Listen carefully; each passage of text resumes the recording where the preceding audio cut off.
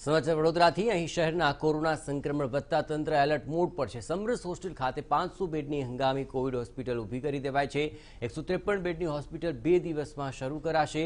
Oxygen supply વ્યવસ્થા સાથે હંગામી કોવિડ હોસ્પિટલ શરૂ કરાવવામાં આવશે.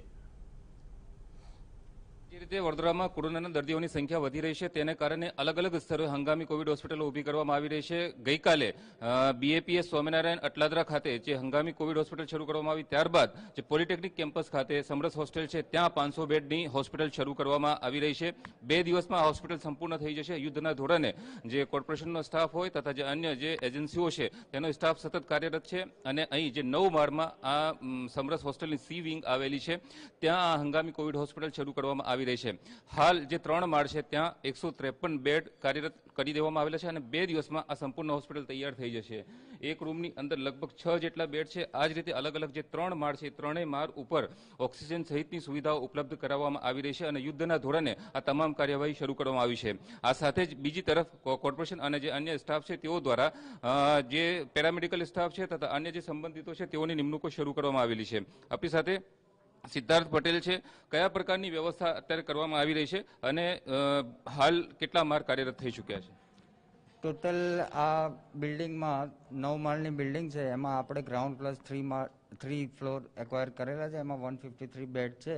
જે ઇમરજન્સીમાં સેટરડે સુધીમાં હેન્ડઓવર કરી આપવામાં આવશે વિથ ઓક્સિજન છે.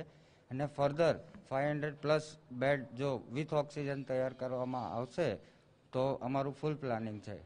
કયા કયા પ્રકારની ફેસિલિટીઝ ઊભી કરવામાં આવી રહી છે અને હાલ કેટલા કર્મચારીઓ કામ કરી રહ્યા છે હોસ્પિટલ તૈયાર કરવા માટે? હાલ અમે અહીંયા ઓક્સિજન ગેસ લાઇનના માણસો છે પ્લસ પ્લમ્બિંગ ને આ પછી ઇલેક્ટ્રિશિયન ને બધું જે આ હોસ્ટેલ હતી એને કોવિડમાં કન્વર્ટ કરી રહ્યા છે, તો એક ફૂલ ફ્લેશ બધું જ ચેકિંગ ચાલે છે ને લગભગ શુક્રવાર સુધીમાં ઓક્સિજન લાઇનનું બી ટેસ્ટિંગ થઈ શકશે. અત્યારે આપ જોઈ રહ્યા છો કે ઓક્સિજન લાઇન માટેની આ જે તૈયારીઓ છે, દરેક રૂમમાં જેટલા પણ દર્દીઓ છે અને ત્યાં ઓક્સિજનની આવશ્યકતા હશે, સીધો તેઓને ઓક્સિજન આપી શકાય તે પ્રકારની વ્યવસ્થા ગોઠવવામાં આવી રહી છે.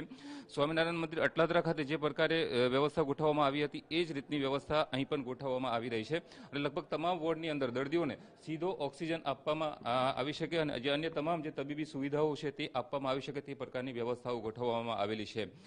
શનિવાર સુધીમાં આ હોસ્પિટલ સંપૂર્ણ કાર્યરત થઈ જશે. ગઈકાલે જે Covid host doctor Vinod Rao કોર્પોરેશનના અધિકારીઓ તથા આરોગ્ય વિભાગના અધિકારીઓએ આ મુલાકાત લીધી હતી, નિરીક્ષણ કર્યું હતું અને અન્ય જે જરૂરી ખામીઓ હતી તેને દૂર કરવાની સૂચનાઓ આપવામાં આવી હતી. શનિવાર સુધીમાં આ હોસ્પિટલ સંપૂર્ણ કાર્યરત થઈ જશે અને જે શહેરની અંદર અન્ય જે હોસ્પિટલો છે, ત્યાં જો બેડનો ભરાવો થઈ જાય તો પછી આ સમરસ હોસ્ટેલનો ઉપયોગ કરવામાં આવશે. કેમેરામેન નિકિલ સોની સાથે